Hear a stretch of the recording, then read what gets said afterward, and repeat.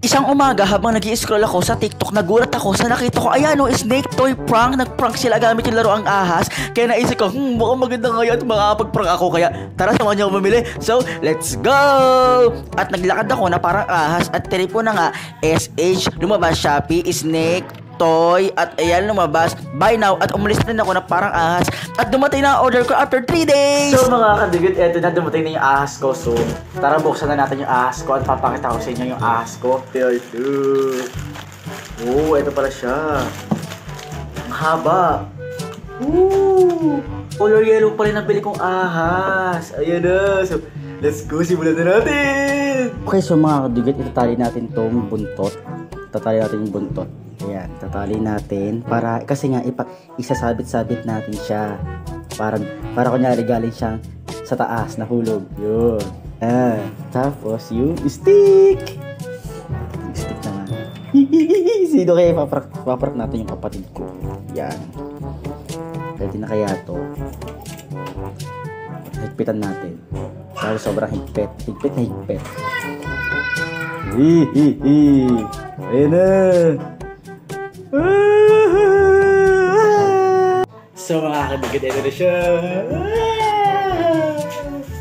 Sobrang taas yata, parang taas yata. So, okay na yan. So, let's go, simulan na natin! It's prank time, let's go!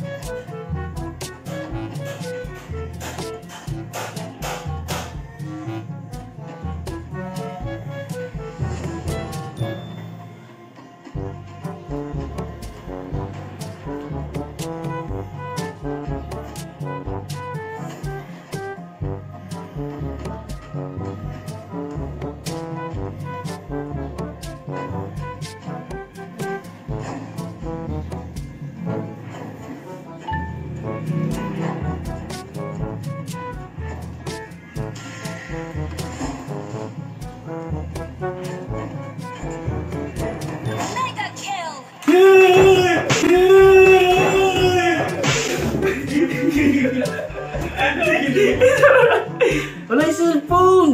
Hindi, buo pa yan. Nabato ko tuloy, walang niya pa naman. Hindi, buo pa yan. May cover eh. May cover ah. Meron ka. Buo pa yan. Di naman kasi... mabuksan. Oh, ayan. Bumukas pa oh. Naku po. Prank lang yun. Prank.